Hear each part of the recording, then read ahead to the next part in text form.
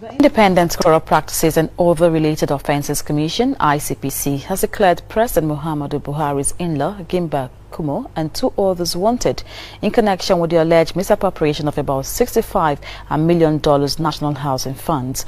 A release by the agency's spokesperson, Azuka Ogugua, gave the wanted persons names as Tari Rufus, Bola Ogunsola, and Gimba Kumo, a former managing director of the Federal Mortgage Bank of Nigeria. He had in 2016 married Fatima, the president's daughter in Daura, Katsina State. In April of this year, the Nigerian Senate Committee on Public Accounts summoned Kumo to explain alleged irregular award of 3 billion naira contract when he was still at the bank. The Senate reports indicated that the contract was awarded in four phases and was overpaid to the tune of over 3 billion naira. The ICPC asked members of the public to provide information about the whereabouts of Kumo and other wanted persons to the Commission's headquarters or zonal offices across the country. Look, look, look at our water. Mm, you see, you see the problem you have caused.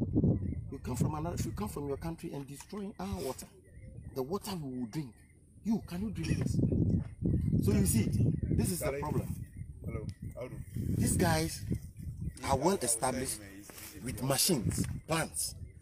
They have two plants, one supplying water to their site, which is about a kilometer from here. Then, when they wash the gold, when they wash the gold, they now discharge the water through the second plant into the river. So one is supplying, one of the pipes is supplying their their their uh, washing machine, which is about kilometer from here, and one is discharging water, the wastewater into the river, polluting the river. So this is the main problem. You see, the guys are operating beyond uh, this in, uh, 100 meters from the river. Yet their establishments are, are causing so much distraction to the river. So the caveat we are operating with, the 100 meters caveat, is not feasible. It's not feasible. If we need to really deal with this issue head on, we have to review that caveat. We have to review it, the 100 meters, and uh, to give us freedom, freedom, freedom of action, so that we can operate fully. Uh, with, we can operate fully to ensure that we achieve the success we all desire.